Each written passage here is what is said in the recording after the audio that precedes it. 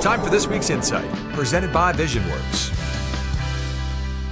At the 2013 Sony Open in Hawaii, Russell Henley was tied for the lead entering the final round of the first start of his rookie season, and he approached it like a seasoned veteran. I've been watching Tiger Woods play since I was started playing golf. So having the mindset of going and trying to win every week, I've tried to make that a habit of mine and I just tried to visualize what I wanted. I visualized myself winning. Henley was two under through 13 holes and took a two-shot lead to the par 4 14. I was just so happy to be in contention. I said, let's just go fight and battle and, and see what happens. It came out pretty good for me.